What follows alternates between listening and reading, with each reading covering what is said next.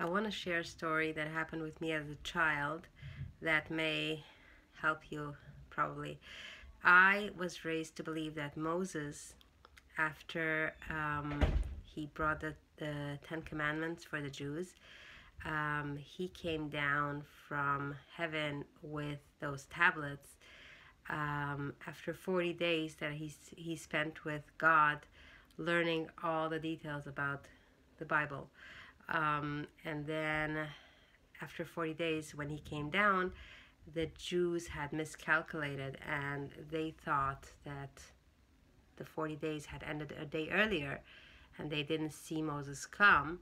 So he really um, didn't keep his promise, so to speak. So they started uh, building a idol, a golden calf, and they started dancing around the calf and they started worshiping the idol uh, because they abandoned um, Moses and his God.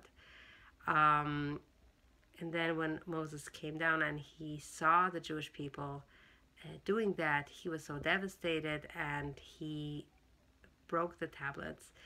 And then he had to go back to heaven and beg God to forgive the Jews because God said he wants to destroy them. They are not um, faithful. They, they, they're not, you can't trust them. They're not um, just one day later and they're all already uh, wandering to, to, a, to another God and all that stuff.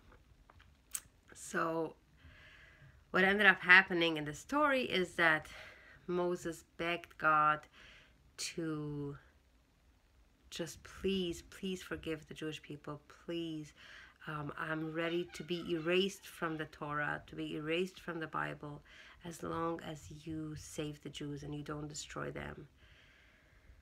And as a child, when I heard that story, it was very much idolized and very much um, like a thing to look up to um, and growing up in general, whenever we were told stories about saints and, and, and big uh, people in the Jewish nation, like big um, leaders and, and scholars and, and um, people to look up to, we were made to believe that we have to aspire to be like that. So as a child, I would think to myself, um, am I ready to do that?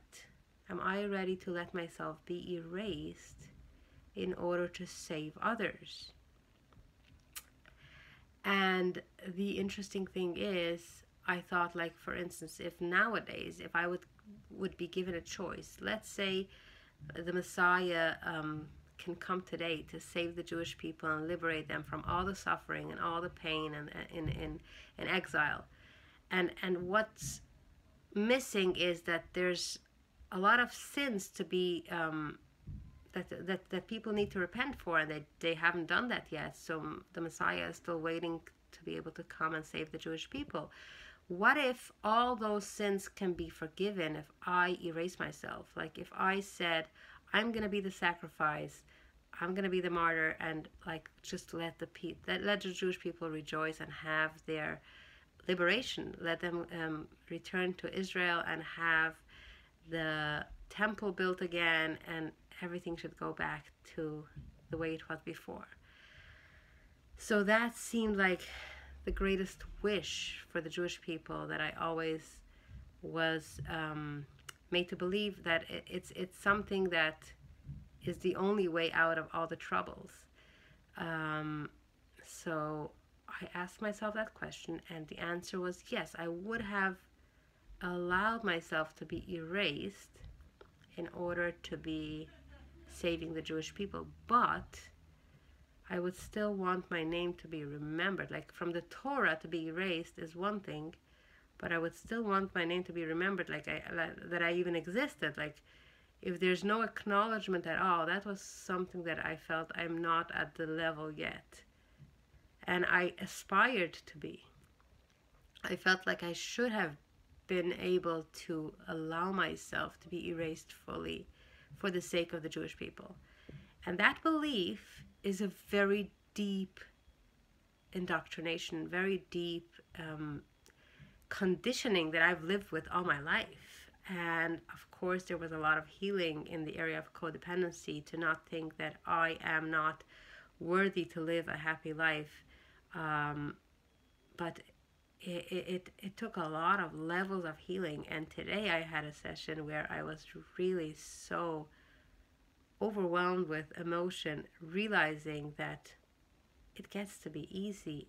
Life does not have to be hard and heavy like that with that burden that I carried around all my life to think that I have to erase myself or somebody else.